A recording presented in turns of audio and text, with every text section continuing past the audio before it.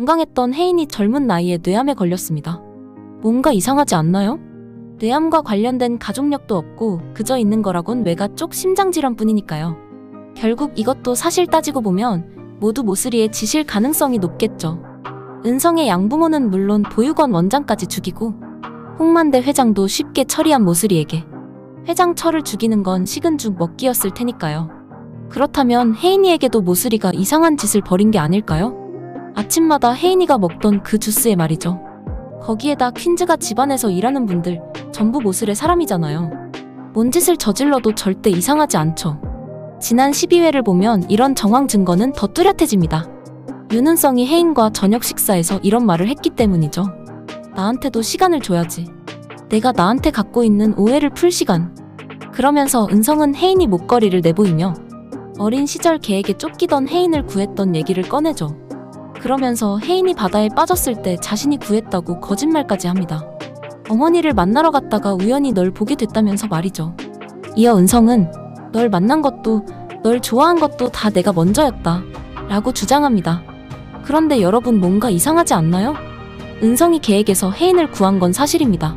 하지만 혜인이 바다에 빠졌을 때 이를 어떻게 알고 있죠? 이게 만약 사실이라면 모슬이가 혜인이 오빠 수환이도 죽였을 가능성이 높겠죠. 그래서 다시 그때 장면을 살펴보니 수환이의 행동이 뭔가 많이 이상하더군요.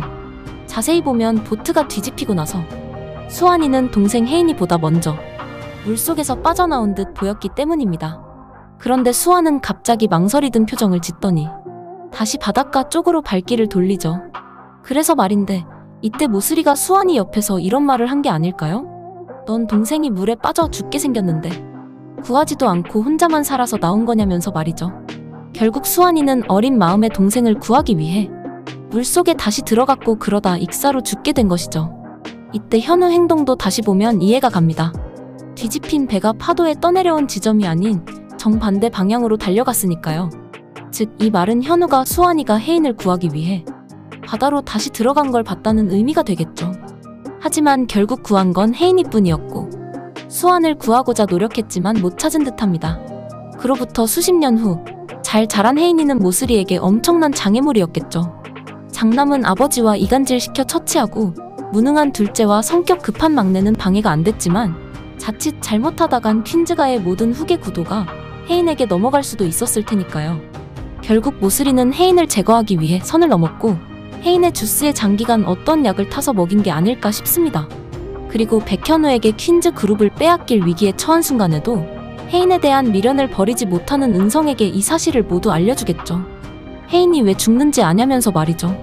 결국 은성은 자신에게 남아있던 마지막 희망까지 뺏어간 엄마 모슬이를 절대 용서하지 않겠죠. 하지만 그렇다고 해서 엄마를 직접 죽일 수도 없을 테니 혜인을 마지막으로 보고 난 후에 스스로 비극적인 결말을 택할 듯합니다.